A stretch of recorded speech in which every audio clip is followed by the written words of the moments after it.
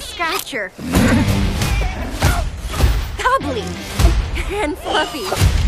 We're orphans. We live on the street, and the nobles sure are gonna take care of us. There you are, Cockerel!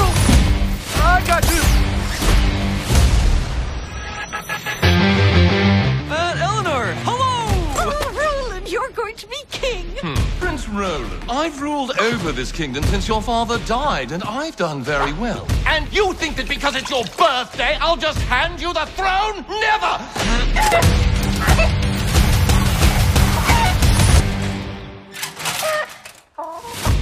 Prince? The Chick Cat! Prince Roland, I'm willing to help you out, but in exchange, I want the treasure your father left. It's up to you. Oh, get away, you beastly thing! So, thought about my proposition? You know the crowd is ready.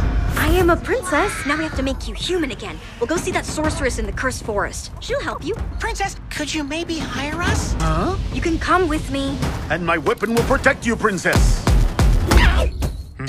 Cockerel. Let's do this. It's a rotten plan! I'm powerful, and I intend to stay that way. Your Highness. Princess!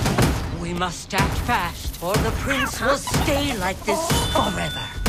I think they're ready for more. Let's settle it. Look at it like it. Telling it. I'm the star of the show and the regiment. You know the crowd is ready. Get loud and ready. What are you doing? I've never seen this cat before in my life. Antidote, I'll need the dung from a unicorn. Oh, Cockerel, I dropped my poo! I think I did too. Get loud and ready.